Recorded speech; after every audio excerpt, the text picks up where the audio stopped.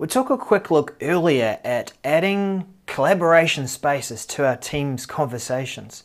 You know, when we need to quickly come up with ideas, add a bullet point list, tasks and the like, we added a loop component. So let's take a closer look at some of the other options we have available as we do that within a Teams chat. Uh, again, we'll start off with a Teams chat. We will click on the loop component and you'll see that there's quite a list here already available to start from. Often we just need to list something, so a bullet list might be good.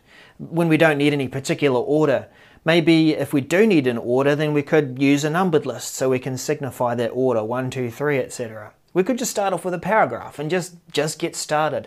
But some of these other ones are quite handy too, where we want to capture information, we've got something that's a bit more ordered and has a bit more purpose. We could start off with this one like here, a task list. Let's do that.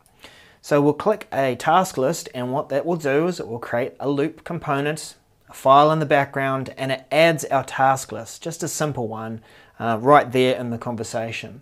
So things to do relating to presentation planning. Okay, so I haven't sent this off, uh, but I've already got this list here that I can start with Laura and now it's going to be available to her in the conversation. Um, so uh, we could start filling this out. What are some of the things that we need to do? Come up with an outline. Uh, and I'll leave that up to Laura. Okay, so that's assigned to Laura. Um, and I'm going to find related references and research. Okay, and assign that to me.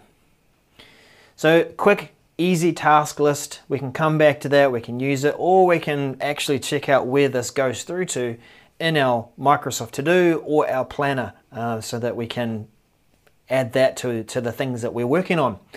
But there's other things that we can add to this loop as well. So now that we've got this collaboration space, we're not just limited to what we, we started off with. If we use a forward slash, this shows the same list that we saw earlier with a few more things that, that we might want to use. Um, so we've got a bullet point list that we could add that.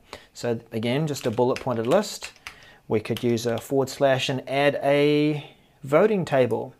So this one's quite handy when you might want to come up with ideas and list them out between you know, a few people in the, in the chat and you can list the pros and cons and you can also vote on that. So this might happen in real time, it might happen um, after the chat and then you can catch up and see what the results are after a day or so and make a decision. Good, simple way of making a decision. Uh, so there's lots of different things you can do um, with Loop and it's really about combining things to suit your purposes. But the point is here that you're able to add this collaborative space very quick and easy uh, between the people that are in the chat. And you're not hunting around to try and find a place to collaborate, which notebook, which document, which team, etc. Um, so think about that as a way of quickly adding collaboration and explore some of those components uh, to put them into different combinations to suit your needs uh, and see where this goes. I'm sure that there'll be more uh, in the com component space um, as time goes on.